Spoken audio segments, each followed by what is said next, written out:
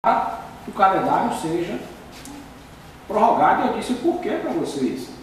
Mas se eu sou estudante de medicina, por exemplo, ou sou estudante de direito, que acabou de passar em um concurso público para nível superior, vamos pegar um exemplo estudante de direito. Eu acabei de passar no concurso público nível superior,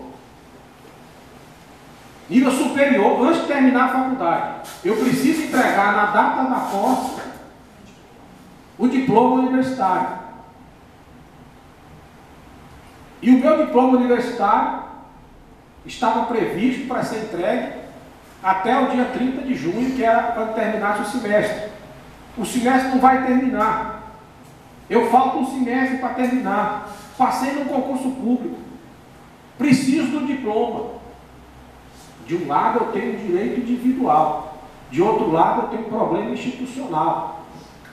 Como juiz, eu posso muito bem determinar que a faculdade despeça o diploma para esse estudante, entendendo que ele já, como a gente faz constantemente no ensino médio, por exemplo. É super comum hoje o juiz receber mandado de segurança ou o pedido de liminar de um estudante que está no terceiro ano do curso do, do, segundo, do, do ensino médio, né? Ensino médio, do ensino médio, e ele passou no Enem e tem que matricular na universidade correndo, porque falta ainda três meses, um mês, um semestre ou um ano para ele terminar. Mas ele já passou, ele passou no Enem e está aí para terminar a faculdade de medicina em Araguaína, ou em Palmas, ou, ou, ou aqui em Tocantinópolis, aqui, Pedagogia e Ciência Social. O que, que o juiz faz? O juiz dá a liminar, entendendo que a, a decisão minha, por exemplo, é mais ou menos assim. É, o, o, o aluno demonstrou pelo seu currículo que tem um excelente desempenho, é, sua, o seu histórico de notas demonstra que está acima da média e que o que me autoriza, sem o menor esforço, a afirmar que o semestre que falta para ele concluir o curso é meramente é uma, é uma simples questão de tempo que ele vai reproduzir esse desempenho no próximo semestre. Tanto que ele alcançou 800 pontos na prova do Enem, que é uma prova difícil, produzida por profissionais de alto gabarito, e portanto eu acho que, é, analisando a questão, analisando a pretensão e diante dos documentos, concluo que ele preenche sim os requisitos para a conclusão do ensino médio, concedo a liminar, determino que seja emitido a, a certidão de conclusão e, ao mesmo tempo, determino que esse aluno frequente não só a sua, as suas aulas, as aulas na faculdade, na universidade, como também conclua a carga horária no ensino médio e que me traga comprovante de frequência na sala de aula. Pô, eliminar e pronto, acabou. Ou seja, é, é, assegurou-se o direito individual. Mas, repito, eu não vi o parecer do procurador, mas o procurador está no papel de defender a instituição. E neste momento tem que desmotivar os alunos. Normal, é, é, é, é gestor, né? Natural isso. Mas é importante nós sabermos o seguinte: dentro da ordem jurídica nacional, a missão é assegurar direitos, o direito individual, o direito coletivo. Ou seja, o direito de greve tem que ser exercido dentro e, é, desse espectro complexo de direitos e garantias. Mas não pode ser, um não pode ser um é, é, desestímulo ao outro, ou seja, nem o direito de greve vai poder desestimular o aluno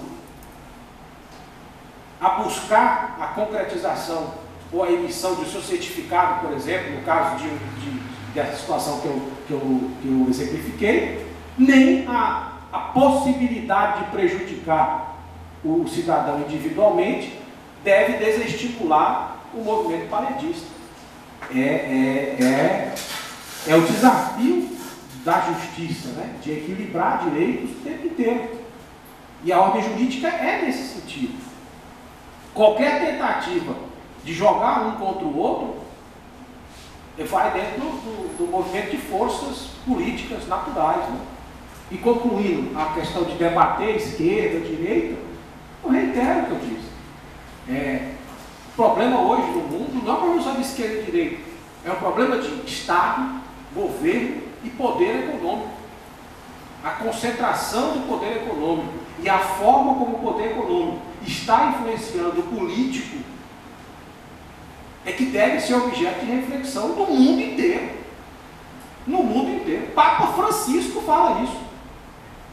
Mas Papa Francisco fala, o Papa Francisco propôs há pouco tempo taxar, o Papa Francisco propôs publicamente traçar, é, é, taxar as transações em bolsa.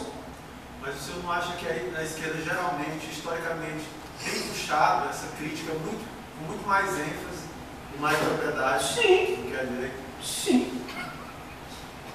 E nada. Não. Isso é fato. Não, Isso é fato. É? Agora, o que a gente pode, o que a gente tem que deixar muito claro a expressão esquerda e direita, que a, a origem dela tem lá das, das assembleias francesas, né? quem ficava do lado, do outro e tal, tal, tal, hoje é um conceito muito mais complexo. Ou seja, nós, nós vivemos em um país e o governo é de esquerda, teoricamente de esquerda. Né? Então, teoricamente é de esquerda. Tanto que o Batista mesmo falou, ele falou assim, é, é muito, seria muito mais fácil para os movimentos sociais lidar com a questão social se o, o presidente fosse o Aécio do que ser da Dilma. Agora, que, quem olha com um olhar mais distante, percebe que, independentemente do presidente, principalmente dois presidentes de grupos políticos tão fortemente enraizados, como é o grupo político liderado pelo PT e o grupo político liderado pelo PSDB, de fato a diferença é muito pequena, porque os dois trabalham sobre o mesmo, a mesma base, que é aquele quadro que eu tracei para vocês. Tem certeza que quando é, a diferença entre Dilma sentar na mesa e a S sentar na mesa, o mapa é o mesmo. O mundo vive, a esquerda do mundo e a direita, obviamente, mas a esquerda fica olhando nesse momento para a Grécia, porque lá na Grécia ele está tentando pegar esse mapa e redesenhar ele. Está tentando. Na Espanha tem um outro partido lá. Esqueci o nome. Né? Tem o branco aqui. Que caminha nesse sentido também. A pergunta, e o Brasil? Quer discutir esquerda? Vamos discutir então, e o Brasil? É somos. Hã? Somos, né? Não, não. É nesse sentido aí. Podemos. Podemos. Podemos. Podemos. Somos quem podemos ser, né? Como que é? Como- como- como dinheiro da live. Somos quem podemos ser. É isso aí. Né? Mas é, é, o debater esquerda é, é- é bem mais complexo. Bem mais complexo. Porque não é simplesmente que se falar hoje que é o destino da esquerda brasileira está nas mãos do governo Dilma, aí, digo que a esquerda está complicada mesmo. Aí está complicado.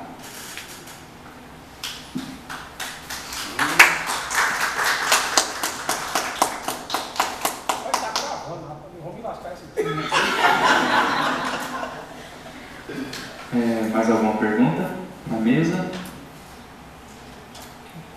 Só queria reparar uma delicadeza, agradecer a Mirane, o professor João que nos representou muito bem, eu esqueci. Parabéns ao nosso colega, que nos representou e falou com propriedade sobre a nossa, nossa história de. E Batista. Bom, sem mais questões então, eu agradeço a participação de todos vocês, a mesa, obrigado e damos por encerrada a atividade. Lembrando que amanhã nós temos Cineclube de greve